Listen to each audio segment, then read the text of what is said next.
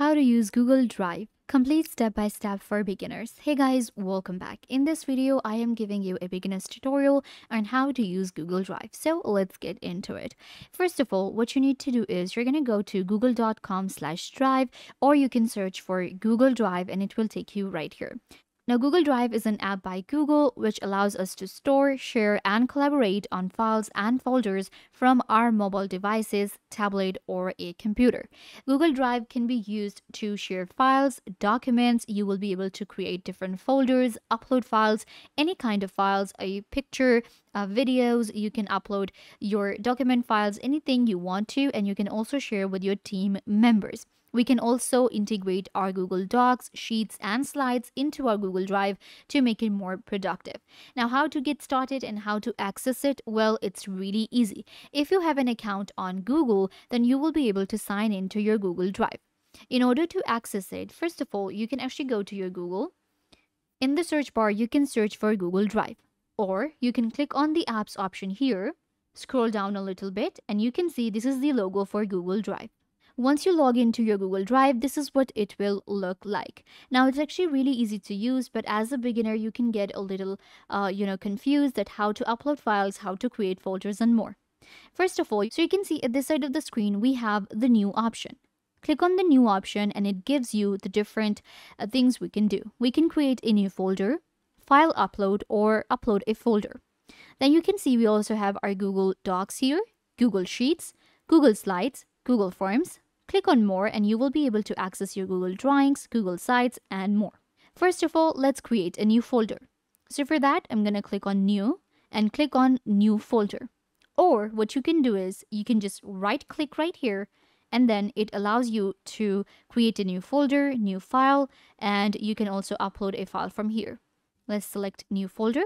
Now give your folder a name. Let's call it test1. So this is how you create a new folder.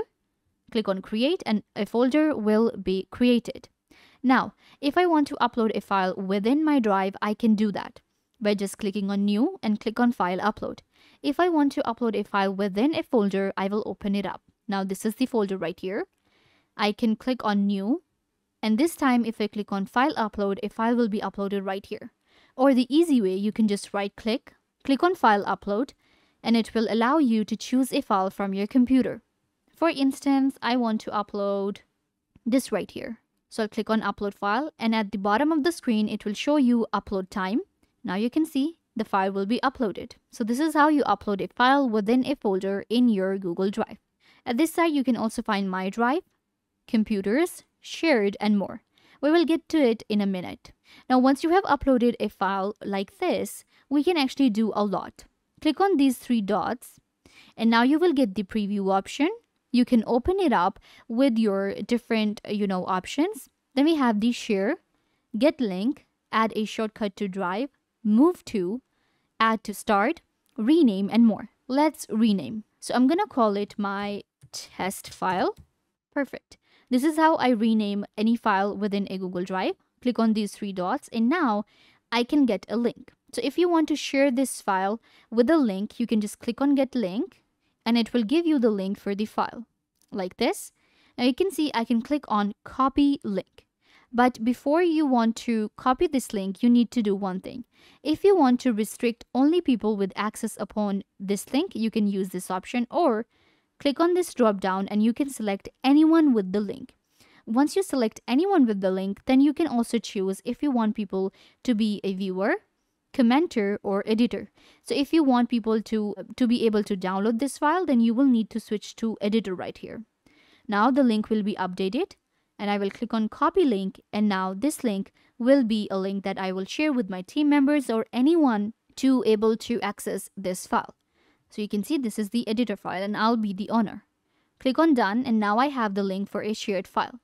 If you want to share a file within the drive, then you will click on share and here you can again enter people, groups, their email address, or get the link. So this is actually the similar thing to copy link and share. We have these two options.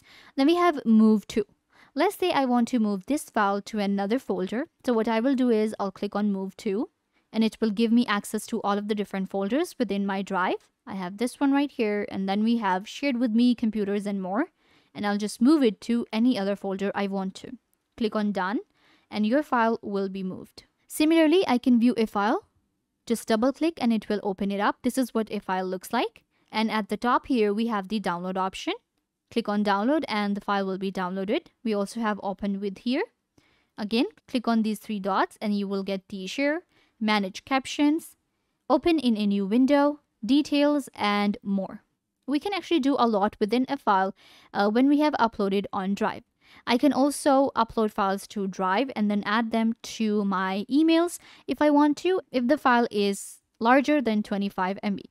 When it comes to uploading a file, you can upload larger files in Google Drive. That is why it is very useful. At the top here, again, we have these three dots where I can also make a copy. We have manage versions, we have remove, and we also have the detail option where I will get all the details. Now, let's get out of this folder. So I showed you how to share a file. But if you want to share a folder, then again, you will click on these three dots, click on share, and I'll be sharing a link. So I'm going to go with anyone with the link and editor. Perfect. Click on copy link, done and I will share this link with a team member and they will be able to join me within this shared folder.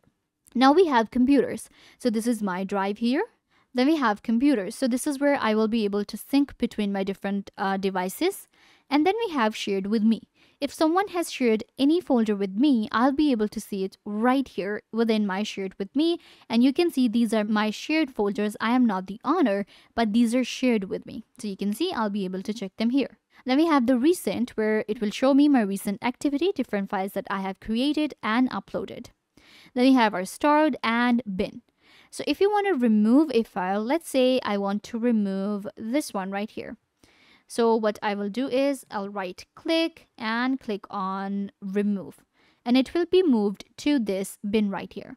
Go to the bin and now I can actually recover the file or I can empty the bin.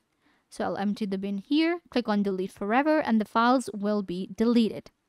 Items in the bin are deleted forever after 30 days.